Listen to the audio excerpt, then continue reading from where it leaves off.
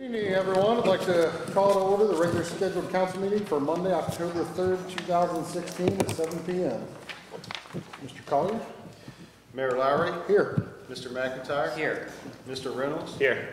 Mr. Lindsay. Here. Mr. McLaughlin. Present. Mr. Craybacher. Here. Six members present. Take keys to do that. And if you'll stand, we'll have tonight's invocation by Councilman John Craybacher. Please bow your heads, please. Our Heavenly Father, Creator of the earth, we pray, Lord God, we give you great thanks for our country that we are free, and that we can stand up here in this fine city, and give us knowledge to go forward. Give us knowledge to make laws for all in concern. For we pray in the name of Jesus Christ. Amen. And tonight we'll do the pledge, we'll use the flag in the back tonight. I pledge allegiance to the flag of the United States of America and to the republic for which it stands, one nation, under God, indivisible, with liberty and justice for all.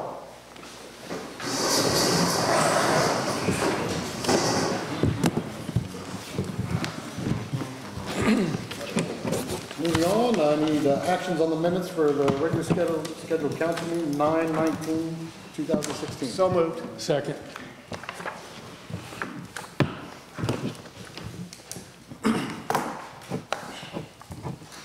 Ready? Yes, sir. Mr. McLaughlin. Yes. Mr. Craybacher. Yes. Mayor Lowry. Yes. Mr. McIntyre. Abstain. Mr. Reynolds. Yes. Mr. Lindsay. Yes. Minutes passed five zero to one. Thank you, sir. And Mayor, before you go on, if I could uh, let Mr. Lindsay know, I did correct that first page of the eight fifteen minutes. Thank you, sir. So it is, has been corrected. I called him somebody else, and he didn't like that. Can't blame him. I didn't know who he was insulting.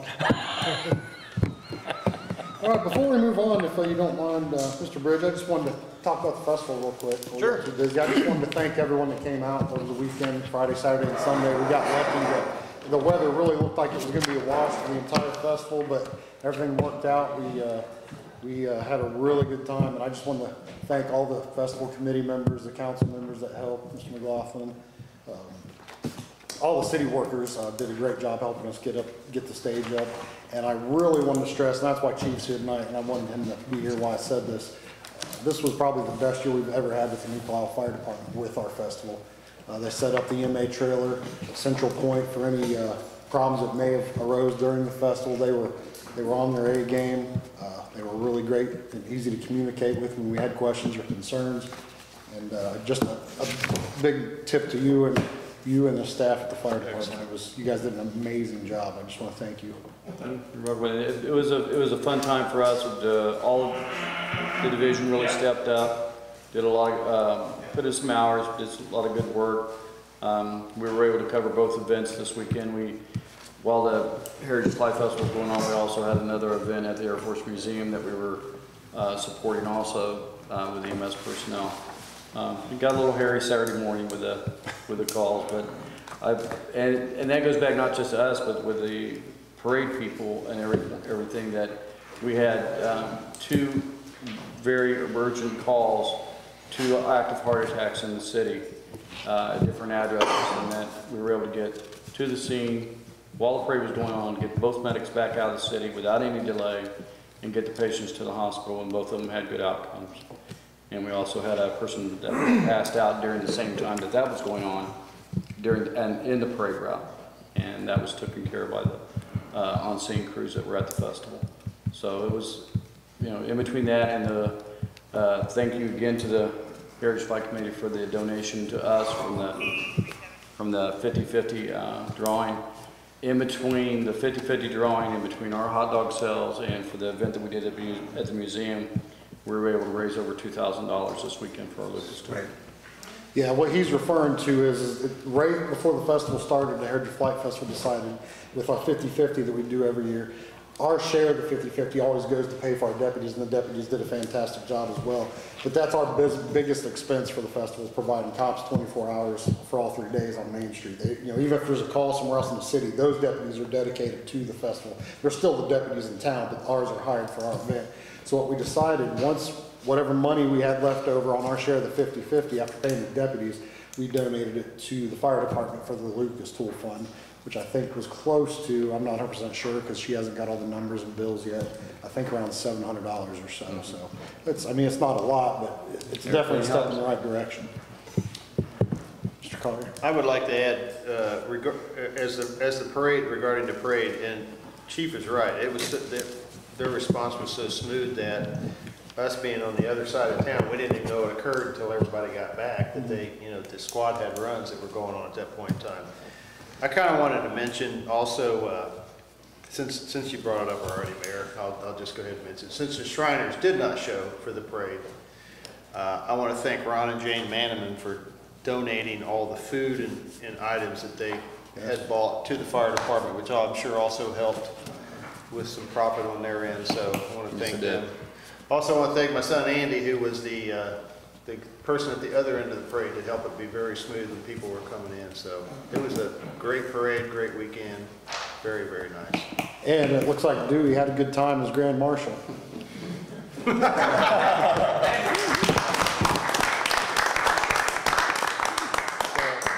Yeah, so, sorry to ask you to come in tonight, Chief, I just thought you should be here for that, because you guys did a fantastic job, so. Yes, they did. Uh, if anybody else has any comments, Mr. Mayor, or All right, Mr. just- McLaughlin? I just want to say that safety's paramount. That's why we have deputies there, and thank goodness the fire department is responsive as they have been, and the deputies have been. Uh, That is a big expense for us, we have to have them there. There might be one or two incidents during the weekend, but it's handled so smoothly, you don't even know that it was handled, to be quite honest with you. So, the other thing I want to say is, we do have a, a beer hanger now, and the American Legion is running that, and they do an excellent job with it. They have no problems. You're only allowed to drink in their area. You cannot go out of the area. And they had a wonderful weekend, and they were so proud of themselves, and they actually made some money, so that was a good thing. Yes. And I want to mention the fire department's help and everybody's help when our wonderful wide load came through town. Uh, announced on Sunday, that was awesome. That was, that was, uh, thanks to Chief, uh, Assistant Chief Ritter. He lives out towards that way, and he was coming in and he called and said, uh, you might want to get a hold of a deputy, we got a problem. That was- Uh, that was He pulled out behind a wide load that had two troopers escorting the wide load that was supposed to come straight down Main Street. Yeah, they, they, st- they stopped right at Speedway, so we had, we had to move them down Lake to Lake to Clay. Clay, Clay to Jefferson, Jefferson to Church. Uh, Yeah, it was. In between us being able to reroute them and the truck driver that they had was very good, Yeah, very good. all the houses are still standing. Yeah. You might want to ask Andy how good he was since he took out part of his yard there, turning that corner by, by the funeral home. But But, uh, go ahead. Anything else from me? I- No, I just, I just wanted you to come in tonight, and I really appreciate it. Well, everybody, I hope you have a wonderful time. I'm going down to see how well the hurricane does. Enjoy your vacation. I'll hold down See the you all. fort. Yeah. I'll keep your people in line. Good, good. That's why I gave you that one. Okay, so moving on, we've got, uh, the city manager's report. Mr. Bridge, nice to see you. Yeah, thank you. Thanks, good to be back. Had a good vacation. Um, I would like to share the uh, city manager's report, uh, members of public, members of councils. Um, on the action report, um, it says possible updates in, in, uh, uh, under Kennedy Trust, Twin Creeks parcels, and tax credit petition. The reason it said possible updates is I had a meeting this morning at 8:30 with our law director, Lynette, at her office. I didn't know what was going to be said at that meeting. Um, so I do have some things to share. Uh, Kennedy Trust, it's, we're uh, Lynette is still discussing finalizing the next steps. Uh, when that is all made, uh, available, we'll definitely bring council into the loop again. I know at the last executive session, a lot of that was discussed. Um, Twin Creeks parcels, there are no updates with that. Everything has been tra- transferred. Still waiting on me to, to go through with the fine tooth comb and get back everything that we can legally charge to get back on that. And the tax credit petition, we actually have a hearing at the Board of Elections next Tuesday, uh, October 11th. I do believe that starts at 10 PM. Um, Hey, a.m. Thank you so much. It is kind of late for that, to have that at 10 p.m., I would assume. They could be busy. They could be. Um, So as soon as we're able to divulge what happens with that hearing, we'll definitely uh, bring council up to loop and our citizens as well. Uh, Moving on, informational items. This was on the last one too. Um, There's been a massive cleanup at uh, Willowwick and New Carlisle Parks. Um, I said I have more information to come on this council meeting. I'm actually going to do it on the 17th. I'd like to get some before and after pictures and uh, invite those who are involved in council to get recognized as well. Um, But again, they've done a fantastic job up there. It's a nine-day difference, so um, we'll uh, publicly thank them at the next council meeting. Trick or Treat for 2016 is Saturday, October 29th, and that is 6 PM to 8 PM. Again, Trick or Treat Beggars Night 2016, Saturday, October 29th, 6 PM to 8 PM. And Crime Watch was normally on the agenda. I put it on here just because the agenda was kind of large. We ran out of rooms. I keep it one page. Crime Watch will have a meeting October, Wednesday, October 12th, 2016, here at the Smith Park Shelter House, and that does begin at 6:30 PM. Uh, That is all I have for the city manager, city manager report. I'd be happy to entertain any questions. Council, any questions for the city manager? Thank you, sir. Yep, absolutely. Nice to see you back. Thank you. Did you get a haircut while you were done? I did. It got, it grew a lot faster down there for some reason. I don't, I don't know. It must have been in the water. Right. Do you like it? No comment. Darker. No, well, can't win them all. All right, uh, moving on. Uh, Communications, comments from members of the public? Any uh, comments from uh, public tonight? This is your time. You can go up to the podium if you have any questions or comments. All right, thank you very much. Committee reports, none tonight. We'll move on to resolutions. Mr. Collier, when you're ready. Resolution sixteen ten R, introduction, public hearing and action tonight. A resolution accepting the amounts and rates as determined by the Budget Commission and authorizing the necessary tax levies and certifying them to the county auditor. Council? Go ahead, John. Mr. Mayor, I'd like to make a motion to accept Resolution 16-10R. Second. Was that Mr. McIntyre in second? I'm with the one that jumps on it, so we were almost like, all right, Cal. I thought we were, I thought we were on the verge of having to die due to lack of a motion. I'm like, no, we're not letting this one die. We can't. This dies, we have no tax money. Explanation to this ordinance, uh, resolution. Yearly house meeting essentially, um, when we submit the tax budget to the county auditor, they go through it and then they gi- give us uh, this back for us to certify our tax levies. Council, any questions or comments? Mr. Collier, when you're ready, Mr. please. Reynolds. Yes. Mr. Lindsay. Yes. Mr. McLaughlin. Yes, Mr. Graybar. Yes. Mayor Lowry. Yes. Mr. McIntyre. Yes. Passes six to zero. Resolution 16-11R, introduction, public hearing, and action tonight. A resolution providing for the permanent transfer of funds from the general fund to Street Fund two oh one of the city of New Carlisle. Mr. Mayor. go ahead, Mr. Lindsay, go ahead. Lindsay? Sorry, sir. Go ahead. Uh, I move we accept resolution 16-11R. I'll second. And an explanation of this ordinance, um, a resolution, I'm sorry. Uh, This will allow us to take $71,100 out of our general fund and put it in Street uh, Construction Fund 201. And this is actually the waste management franchise or administration fee for this year only. I know at one of the uh, last council member uh, meetings, it was disclosed that the money was never missing, it was just put in the general fund, whereas it really should have been put in the general fund and transferred out to the street fund. Unfortunately, that did not happen. So um, under this management, when we noticed that uh, obviously the right thing to do at this point in time is transfer what we can. Now, with that being said, this transfer will not take place at the end of the year. And the reasoning of that is, is we haven't got a full year's of administration fees from Waste Management because we're still in the third quarter? Second, third. We're getting right to move forward. Get ready to head into a fourth. So we haven't been, they haven't sent us the check for the third quarter and the fourth quarter. So at the end of the year, when we have all that collected, it should equal this amount, and then we'll do that transfer. So these funds will not be able to be um, spent until 2017. Okay. Council, Mr. McIntyre. Yeah, I just want to thank you and the mayor for working on this. I know after the last, well, a few weeks ago, when this came up in a council meeting, um, we, we knew we had to do something, Sure. and uh, you and the mayor were very proactive in rectifying the situation, and I think it's great, and it goes really a long way just to, you know, show transparency and, and that we try to make corrections when we see something that's, it's not what we thought it was. And so I just want to thank you both for your work with that. It's the right thing to do. It's not our money. It's, every- it's, if you live in the city, it's your money. So you have to do the right thing with it. And I think this is the right thing to do, no questions asked. Thank you, Mr. McIntyre. Mr. Craybacher? Yeah, I want to thank you, you know, too, that's, you know, we all make mistakes. Sure. It's when we just don't, you know, admit to it and just let it keep on going on. Um, question though, is there going to be a line item or anything, uh, for later on? Or is this going to be like housekeeping each year, if we want to just transfer on over?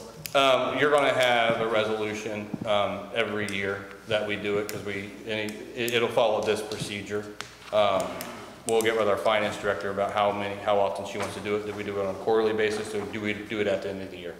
Um, we can do this legislation as long as we don't spend any of that money for that year. For example, in 2017, if we go in after the first quarter, do this legislation as is, put it in that fund and not spend it till the end of the year, then we're not going to do a second ordinance. We have to do a second ordinance to actually spend it as well. But since we don't have all this collected, we're not going to spend it till the end of the year anyway. So to answer your question, next year, if we do it into the first quarter and we want to spend that money the same year, you're looking at another piece of legislation. Okay.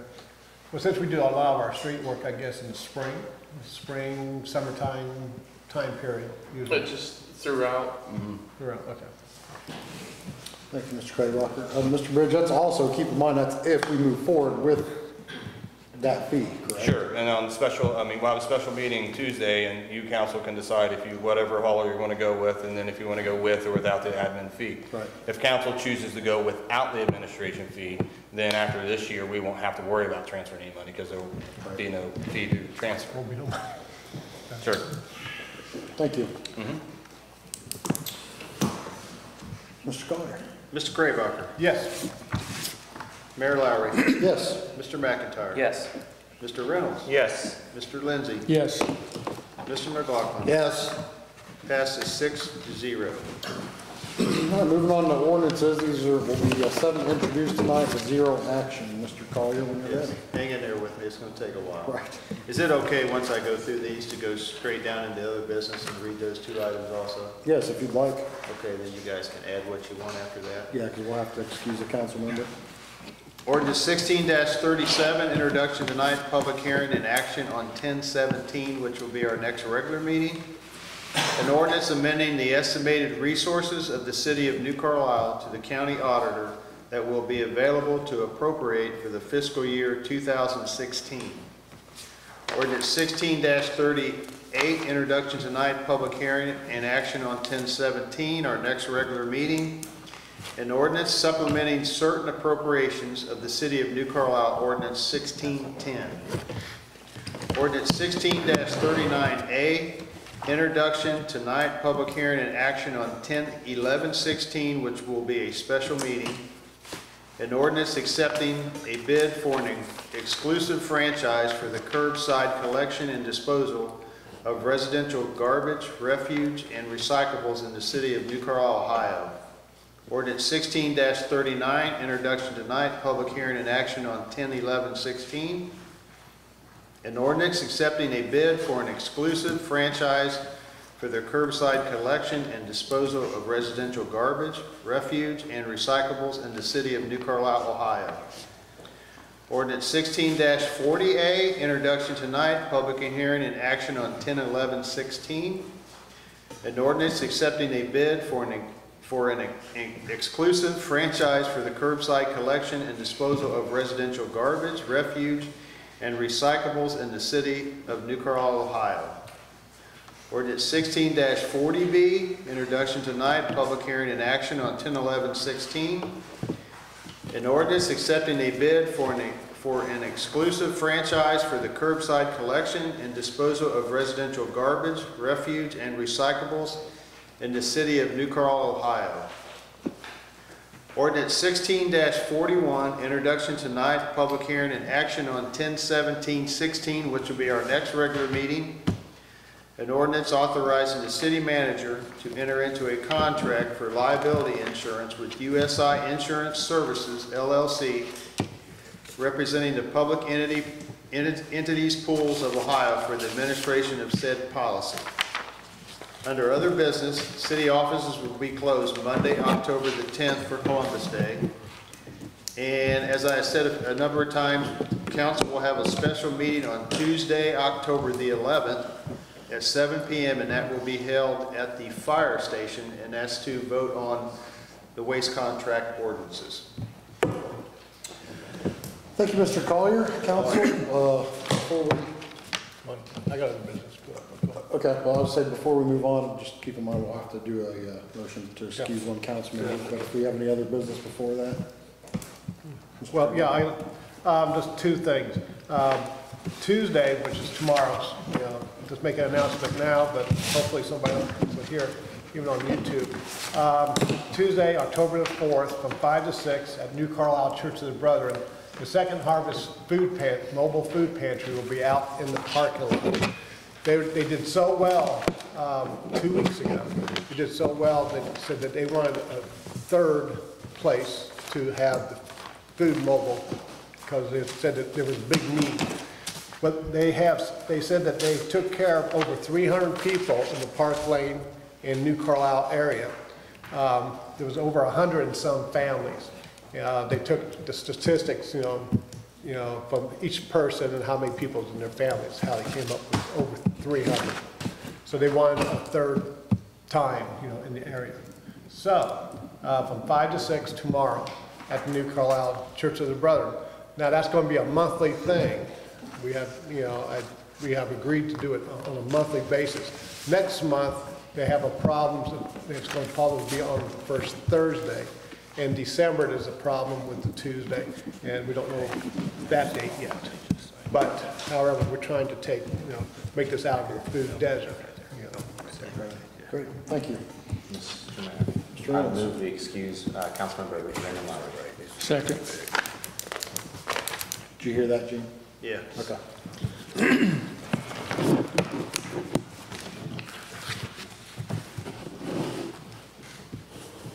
Mr. McLaughlin.